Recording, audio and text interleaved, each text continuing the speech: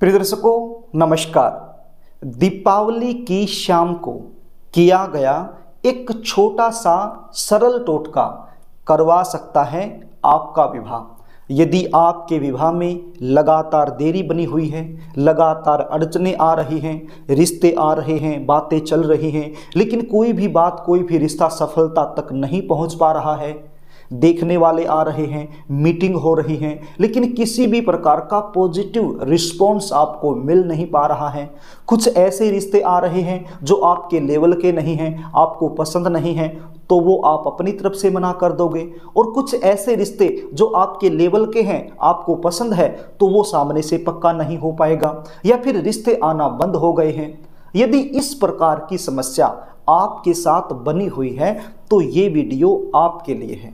आज मैं आपको दीपावली महापर्व की शाम के समय किए जाने वाला एक ऐसा सरल टोटका बताने वाला हूँ यदि आप ये टोटका कर दोगे तो विवाह में आ रही बड़े से बड़ी अड़चन तत्काल दूर हो जाएगी और जल्द से जल्द शादी होने के योग बनेंगे। ये उपाय जिन बच्चों की शादी में लगातार देरी बनी हुई है, वो खुद भी कर सकते हैं। और यदि वो खुद नहीं कर पाते हैं तो ऐसी सिचुएशन में माता पिता अपने बच्चों के लिए ये टोटका कर सकते हैं। सबसे पहले तो हमें यह पता होना चाहिए, विवाह में देरी होती क्यों है? जन्म कुंडली का सप्तम भाव, जहाँ से विशेष रूप से विवाह का विचार किया जाता है। यदि सप्तम भाव या फिर सप्तम भाव का स्वामी शनि ग्रह के प्रभाव में आ जाए तो विवाह में लगातार विलंब होने वाले कंडीशन बन जाते हैं। क्योंकि शनि देव ब्रह्मांड में एक ऐसे प्लेनेट हैं जो धीमी गति से चलते हैं। अब सप्तम भाव या सप्तम भाव के स्वामी के साथ जब अपना संबंध बना लेते हैं तो उसमें ये देरी करने का काम करते हैं। बनती बनती बात बिगड़ जाने का मुख्य कारण क्या होता है? जन्म कुंडली का सप्तम भाव या फिर सप्तम भाव का स्वामी। यदि राहु, केतु, सूर्य और मंगल इन अलगाववादी ग्रहों के प्रभाव में आ जाए तो ये बनती हुई बात को बिगाड़ने का काम करते हैं। तो प्रिय दर्शकों ये तो हो गया विवाह में विलंब होने का कारण। अब इसका हल क्या है? इस समस्या से किस प्रकार से बचा जा सकता है? यहाँ पर या तो आप अपनी जन्म कुंडली का विश्लेषण किसी अच्छे ज्योतिषी से करवा लीजिए और जन्म कुंडली के आधार पर जो सटीक उपाय बनते हैं, वो कर लीजिए। यदि आप जन्म कुंडली विश्लेषण नहीं करवाना चाहते हैं, आपके पास जन्म कुंडली नहीं है, या फिर जन्म कुंडली विश्लेषण की जो फ़ीस होती है, वो पे करने में आप सक्षम नहीं हैं तो फिर आपको एक टोटका मैं बता रहा हूँ। ये टोटका दीपावली की शाम के समय आपने करना है। टोटका बताऊँ, इससे पहले आपसे निवेदन करना चाहूँगा, यदि आप चैनल पर नए हैं और अभी तक आपने इस चैनल को सब्सक्राइब नहीं किया है तो मुझसे लगातार जुड़े रहने के लिए अभी इस चैनल को सब्सक्राइब कर लीजिए और बेल आइकन को भी प्रेस करके रखिए, ताकि हमारी आने वाली इसी प्रकार की नई वीडियो का नोटिफिकेशन आपको तुरंत मिल जाए और वो वीडियो बिना किसी अड़चन के आप आसानी से देख सके। तो प्रिय दर्शकों वो टोटका क्या है? किस प्रकार से करना है? इसको आप समझ लीजिए। आप एक काले रंग का कपड़ा ले लीजिए। कितना कपड़ा लेना है? रुमाल के साइज़ का। बिल्कुल फ्रेश और नया कपड़ा होना चाहिए। ये उपाय आपने शाम के समय करना है। दीपावली महापर्व, ये तो आप जानते ही हैं 12 नवंबर को दीपावली महापर्व मनाया जाएगा। तो 12 नवंबर की शाम को आपने ये उपाय करना है, इस दिन रविवार रहेगा। तो शाम के समय कितने बजे आप ये उपाय कर सकते हैं? ये उपाय आप सूर्य अस्त होने के बाद और रात्रि 12 बजे तक ये उपाय आप कर सकते हैं। करना क्या होगा? एक काले रंग का कपड़ा, रुमाल के साइज़ का, बिल्कुल फ्रेश कपड़ा आप ले लीजिए। उस कपड़े में क्या रखना है? सात प्रकार की मिठाइयाँ आपने रखनी है। दीपावली महापर्व का दिन है, बाजारों में मिठाइयों के ढेर लगे हुए हैं। सात प्रकार की कोई भी मिठाई आप इस कपड़े में रख लीजिए। अब कितनी रखेंगे? थोड़ी थोड़ी आप रख लीजिए। सात प्रकार की मिठाई थोड़ी थोड़ी आप इस कपड़े में रख लीजिए। और क्या रखना है?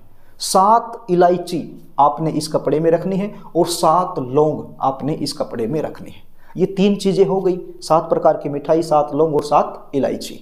ये जो लौंग आप लोगे ना, ये बिल्कुल साफ़ सुथरी लौंग होनी चाहिए। टूटी फूटी लौंग नहीं चलेंगी और इलायची भी साफ़ सुथरी होनी चाहिए। ये तीनों चीज़ें इस काले रंग के कपड़े में रख के इसकी पोटली बना लीजिए। जिस भी बच्चे की शादी में देरी चली हुई है, उसके सिर के ऊपर से घुमाइए सात बार। क्लोकवाइज भी घुमा सकते हैं एंटी क्लोकवाइज भी घुमा सकते हैं नो प्रॉब्लम और यदि बच्चे आप खुद कर रहे हैं ये उपाय अपने लिए तो खुद अपने सिर के ऊपर से सात बार घुमा लीजिए। और यदि आप माता पिता हैं तो अपने बच्चों के सिर के ऊपर से घुमा लीजिए। दीपावली महापर्व का दिन है तो ऐसा तो है नहीं कि आपके बच्चे घर में नहीं होंगे, क्योंकि इतना बड़ा त्यौहार है तो हर बच्चा अपने घर में आ ही जाता है, चाहे कहीं भी नौकरी करता हो या पढ़ाई करता हो। तो इस दिन तो कोई भी हो, अपने घर में आता ही है। और यदि आपके बच्चे बहुत ज़्यादा दूर रहते हैं, नहीं आ पाए हैं किसी कारण से तो फिर ऐसे में क्या करना होगा? ऐसे में उनके फ़ोटो के ऊपर से भी आप ये पोटली सात बार घुमा सकते हैं। मैंने आपको बता दिया एंटी क्लोकवाइज या क्लोकवाइज कैसे भी इसको घुमा लीजिए और अपनी मनोकामना का चिंतन कीजिए। उसके बाद ये पोटली लेकर के आपने घर से बाहर निकलना है और इस पोटली को कहाँ आपने डालना है? चौराहे पर। चौराया क्या होता है? जहाँ से चार रस्ते फटते हैं, उसको बोलते हैं चौहराया। शायद आप जानते होंगे चौराया क्या होता है? तो चौराहे के बीचों बीच आपने इस पोटली को डाल देना है। अब ये चौराया आपके घर के आसपास भी हो सकता है, या आपके घर से थोड़ा सा दूरी पे भी हो सकता है। तो ऐसे में आप अपनी गाड़ी से भी जा सकते हैं, आप अपनी स्कूटी से भी जा सकते हैं, बाइक से भी जा सकते हैं, और यदि नज़दीक है तो पैदल भी जा सकते हैं। तो इसमें आपने वहाँ रुकने की आवश्यकता नहीं। जैसे आप चौराया क्रॉस कर रहे हैं तो चलते चलते आप चौराहे पर डाल सकते हैं। यदि आप पैदल हैं तो चलते चलते छोड़ सकते हैं। या फिर आप बाइक पे हैं, स्कूटी पे हैं तो स्कूटी पे चलते चलते एक हाथ से छोड़ सकते हैं। या फिर गाड़ी में है तो गाड़ी का शीशा नीचे किया, छोड़ सकते हैं। तो इस प्रकार से आप वहाँ पर छोड़ दीजिए।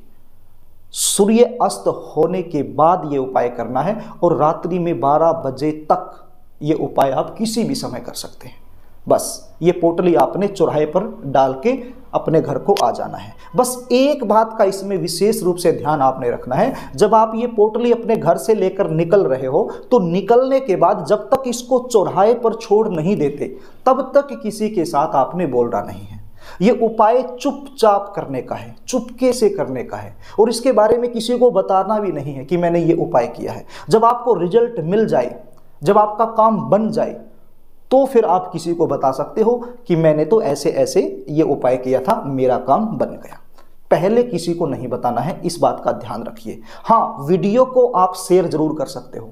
अपने मुख से नहीं बताना है, वीडियो को शेयर ज़रूर कर सकते हो। यदि पुण्य के भागीदार आप बनना चाहते हो तो उस वीडियो को शेयर ज़रूर कर सकते हो लोगों के पास, ताकि आप जैसे भी तो और भी बहुत सारे लोग हैं, बेचारे जिनकी शादी नहीं हो रही है। तो उनको भी लाभ मिल जाए तो इसमें तो पुण्य आपको मिलेगा। तो वीडियो को शेयर ज़रूर कीजिए आप और कर सकते हो, नो प्रॉब्लम। लेकिन अपने मुख से किसी को आपने नहीं बताना है।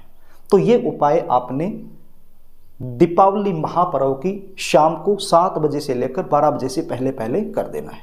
यदि आप अपनी या अपने बच्चों की जन्म कुंडली का विश्लेषण मुझसे करवाना चाहते हैं, जन्म कुंडली के आधार पर जल्दी शादी होने के विशेष उपाय मुझसे जानना चाहते हैं विवाह में अड़चने क्यों आ रही हैं? शादी कब होगी? कहाँ होगी? कैसे परिवार में होगी? ये सारी जानकारी यदि आप मुझसे लेना चाहते हैं तो स्क्रीन पर दिखाए गए व्हाट्सएप नंबर पर आप अपनी समस्या टाइप करके मेरे पास भेज सकते हैं। अपनी जन्म डिटेल लिखकर मेरे पास भेज सकते हैं। और जन्म कुंडली का सटीक विश्लेषण मुझसे करवा सकते हैं। जन्म कुंडली विश्लेषण की हमारी फ़ीस होती है, वो फ़ीस आपको पे करनी होती है, उसके बाद आपको पूरी जानकारी दे दी जाती है। तो प्रिय दर्शकों यदि आपको कार्यक्रम अच्छा लगे तो इस वीडियो को लाइक ज़रूर कर देना, शेयर भी कर देना, और अभी तक आपने यदि चैनल को सब्सक्राइब नहीं किया है तो मुझसे लगातार जुड़े रहने के लिए अभी इस चैनल को सब्सक्राइब ज़रूर कर लीजिएगा। आज के लिए बस इतना ही, आगे फिर मिलेंगे, तब तक के लिए नमस्कार।